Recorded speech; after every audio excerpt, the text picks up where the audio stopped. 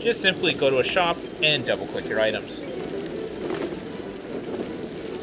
I have 16 silver already. Up to, up to, up to, up to. I'm a shiny little halfling.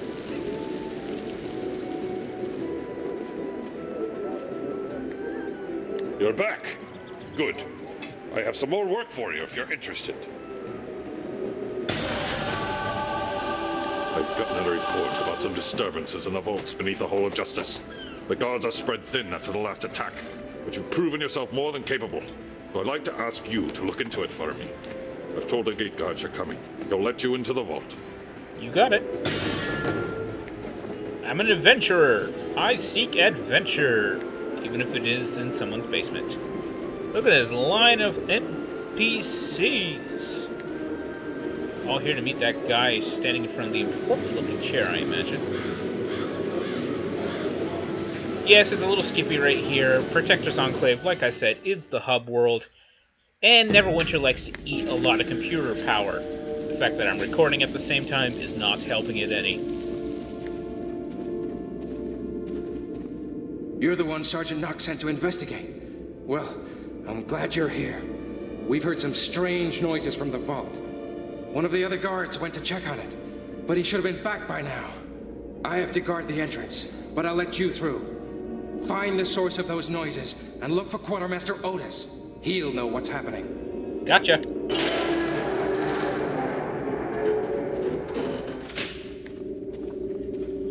Got something on my screen there. There we go.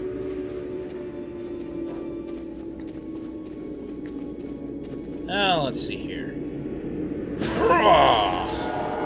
Hello! Good night.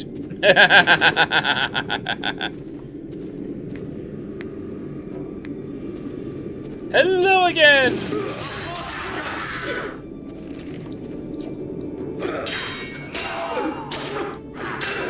There we go. Having troubles hitting him. Now my, as you can see, my one ability is recharged. So, I can use it again.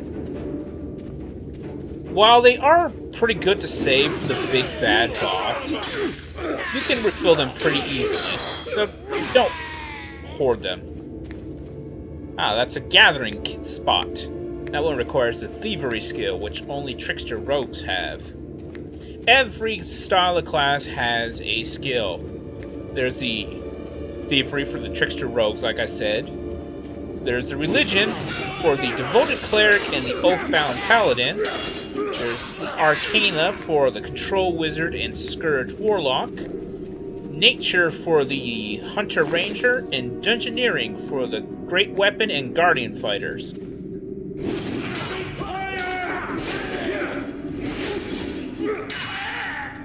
So, you'll always have one gathering. Oh.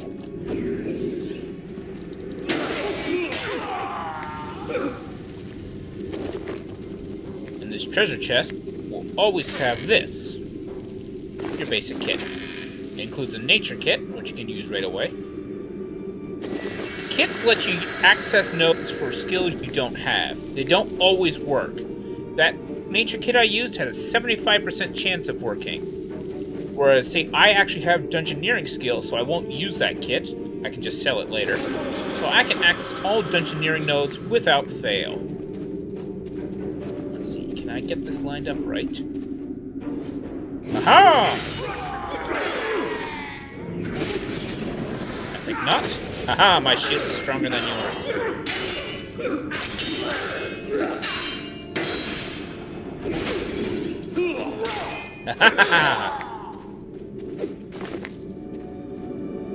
Probably hit the caps lock there a few times.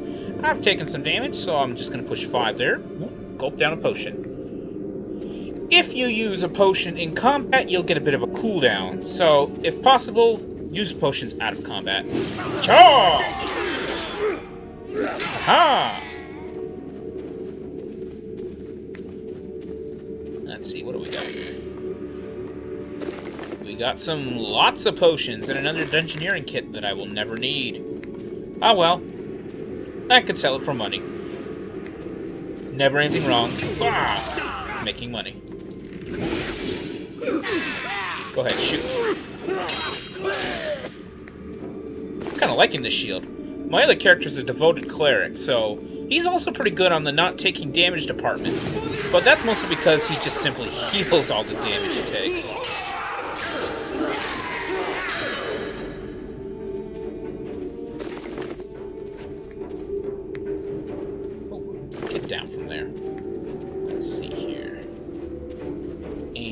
Right and charge!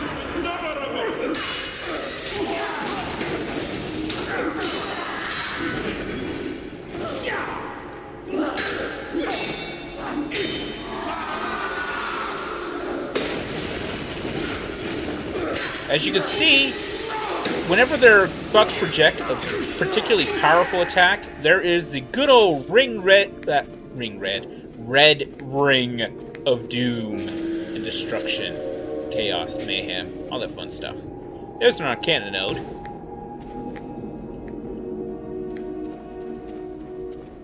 You generally, unless you have a class that can block, you generally want to get out of the red ring of doom. This is another religion spot. This is not their gathering node. This is a little spot where you can pray at an altar and get a little buff.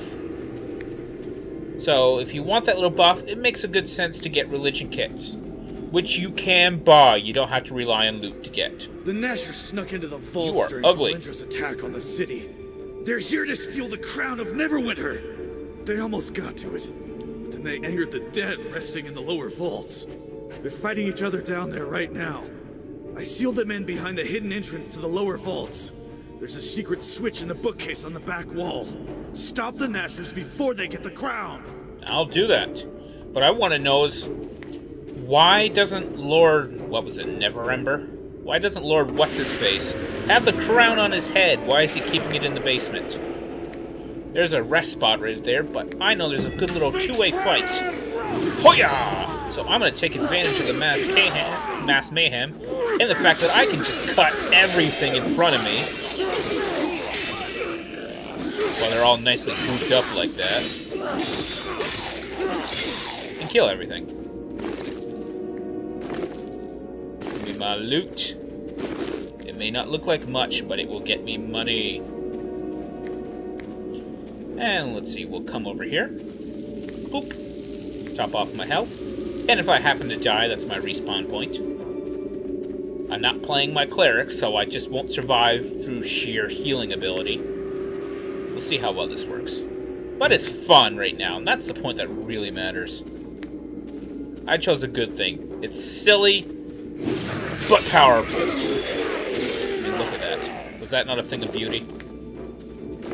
Pretty sure even my great weapon fighter I had way back when couldn't do things like that. Oh yeah! Slice! Dice! Smash! Bash! All that fun stuff. There's another dungeoneering spot. Since I don't need to use my kit. Now these little nodes, as far as I'm aware, they are static in dungeons. You'll always find a node in the same spot in a dungeon. But eventually you'll get to travel out in other little map-like areas. They are more random. Oh yeah!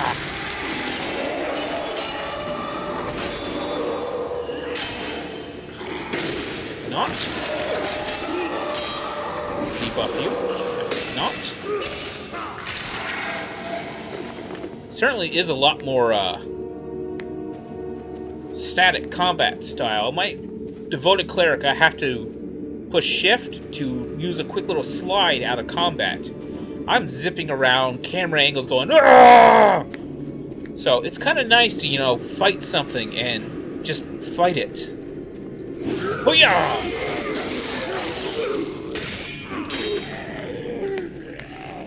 I knew I saw something fall behind me. Gotta get my loot. Skeleton slaughter! Slice! Dice! Slice! See any other loot? Nope.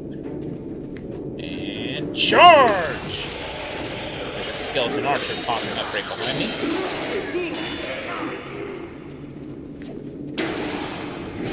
Get down from there.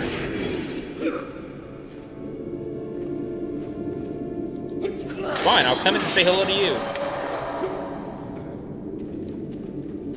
You can jump in this game, as they explained earlier. See, that's a religion uh, gathering node.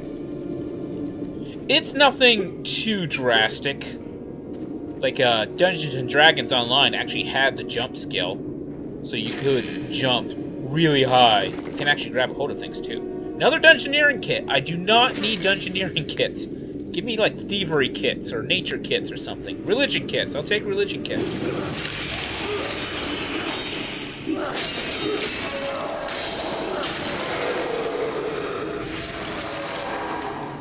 know you're gonna shoot me.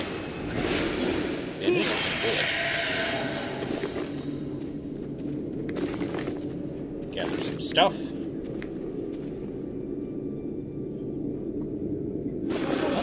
It worked. Not gonna complain. Uh, I'm taking some damage, but I know I'm near a rest spot, so I won't bother recovering it from potion. Charge! Smash! Now I know somebody's gonna try to sneak up from the other side. They did that to my cleric. Or not. Ah, there you are. You're confused. You're re-dead now. They're already dead in the first place. I just made them deader. And we'll stop to top off. Ah, nice stop. Okay, moving on. These dead bodies are not my fault. I had nothing to do with them.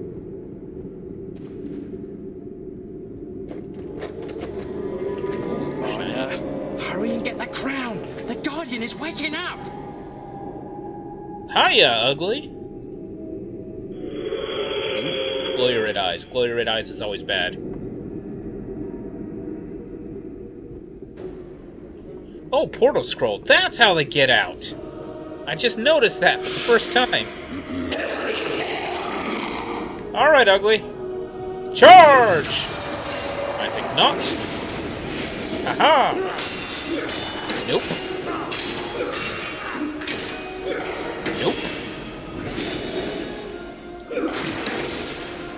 Nope. Oh yeah? Oh, Booyah! Nope. Nope. Simple, straightforward fight. Belongs to the I like that. All the other fights I've had are so zippy and confusing and a little nauseating. I mean, yes, I traded some damage, but I traded a lot less damage than I would have on pretty much any other class but the Oathbound Paladin. Because all classes have a secondary thing. I mentioned their primary. The Guardian Fighter here's secondary trait is Controller. So I can push things around, debuff them, stuff like that. Whereas the Oathbound Paladin's second thing is Leader. So he doesn't tank through... Ooh, pardon. Proper crowd control, stunnings, stuff like that. He tanks by absorbing the damage and then healing it back up. Oh, I got a belt. There we go. Wearing a belt now. I have five Dungeoneering kits. It's a little excessive. Hup, two, hup, two, hup, two, hup, two, hup, two, hup, two.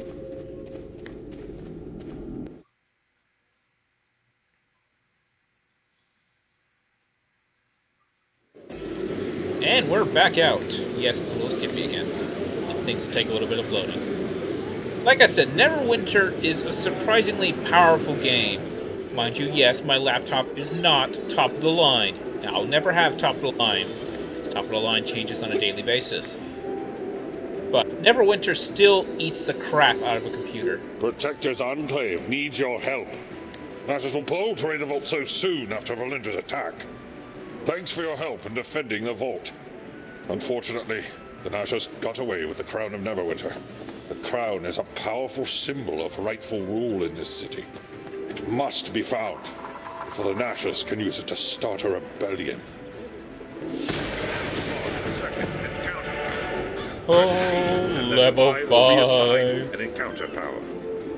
The Nashers have stolen the crown of Neverwinter from the vault, but we still have a chance to recover it. We just need to catch the two thieves who escaped and trace where the Nashers are hiding the crown.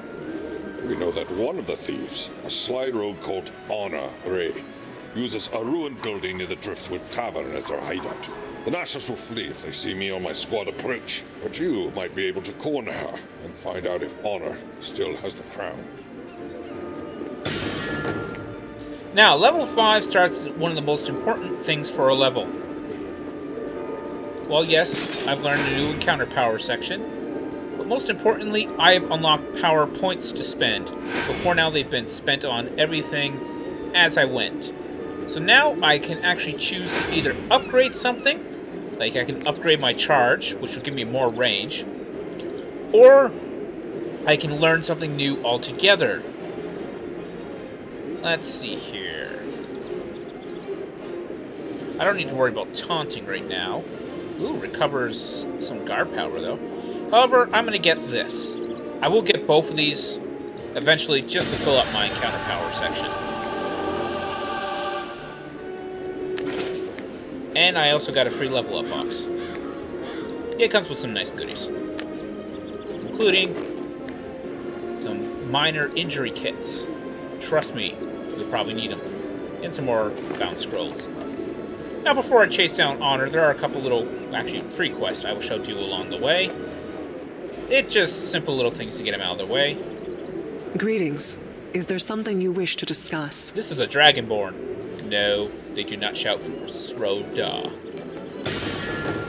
And I probably skipped that by way too fast, because it wasn't voice acting. Sorry, but you can always pause if you want to read it. Well met. Hello there. Are you interested in a battle of wits? I am apprenticed to a rather powerful and eccentric wizard. My master has hidden a number of scrying orbs throughout the Sword Coast. When activated, the orbs give the user a bird's eye view of the surrounding area. I have already located the orbs in Protector's Enclave, but I could use help locating the others. Please visit the orbs in Protector's Enclave to familiarize yourself with them. Keep your eyes peeled for any other orbs you may come across in your travels. He's talking about these glowy things. They give you cute little bird's eye views of stuff. You find them all in an area for achievements. There's three in each area. I haven't the foggiest idea where they all are. My cleric that I've mentioned a few times is only 25. So, uh, yeah. I- I'm not a master of this game.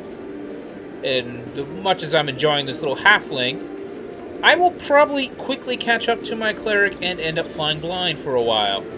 It, it's gonna happen. And I don't care. We got another little spot here. Everyone is a big city, people. Why do you have an information? There is no time for small talk. Well, fine. I didn't want to talk to you either. Hey, let's go talk to the Lord Never What's His Name guy. Hey, Lord, what's your face? Why aren't you wearing the crown? What? Well, fine. I didn't want to talk to him anyways. I'm going this time.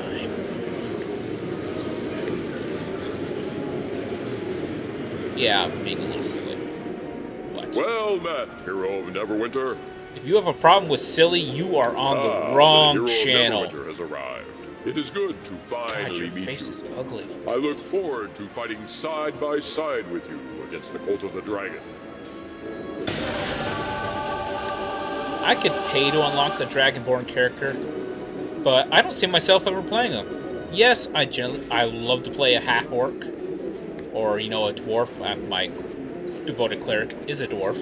You know, I'm not stuck on the full-on pretty races. But, uh, man, that was ugly. Ugh.